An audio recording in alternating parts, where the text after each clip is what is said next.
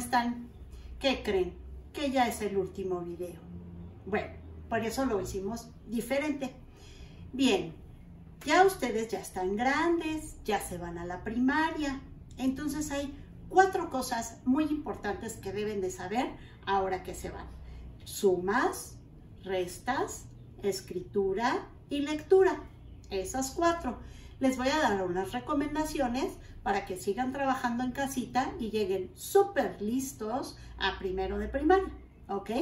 Bueno, una de las cosas importantes en matemáticas, bueno, y ustedes ya saben, las regletas, los números y las figuras geométricas. Bien, las sumas siempre tienen que saber cuándo es una suma. Una suma es cuando ponemos y una resta cuando quitamos. Por ejemplo, aquí tenemos unos globos. Si es suma, vamos a poner más globos. Entonces ponemos más, ¿ok? Eso es más globos.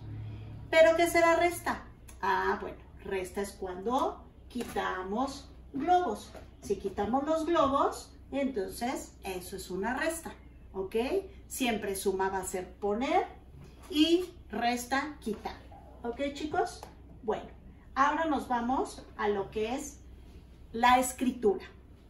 Ustedes, las letras nuevas que empezamos a ver, fueron las compuestas. Van a seguir viendo muchas más en su libro. Y los mamá y papá nos van a apoyar cómo se pronuncia, ¿ok? Como la que vimos de la cl, la br, la... Eh, ¿Cuál otra vimos? Muy bien.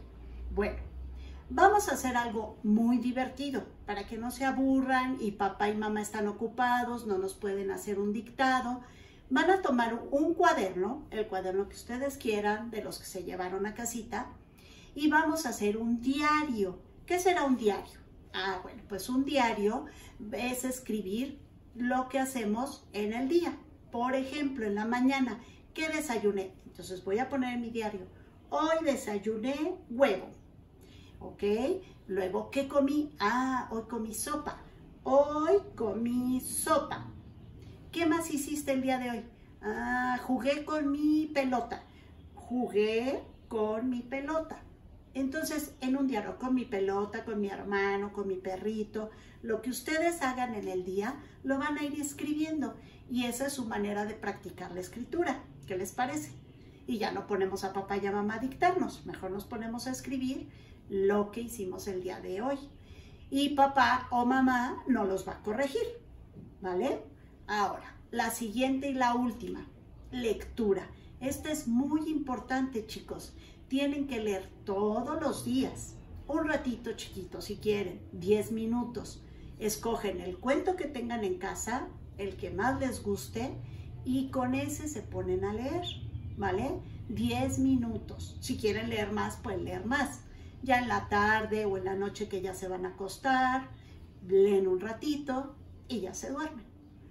Esas son las recomendaciones que yo les puedo dar para que se vayan a la primaria muy bien preparados. ¿Ok, chicos? Pues les deseo lo mejor en primaria, que les vaya súper bien. Les mando muchos abrazos, muchos besos y nos vemos pronto. Bye.